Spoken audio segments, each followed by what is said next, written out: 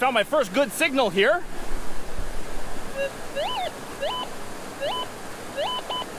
Okay, so the signal seems to be right here. Let's see what it shows.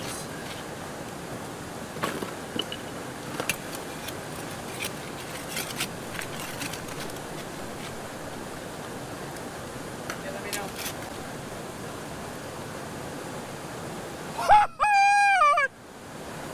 I hope you got the camera handy.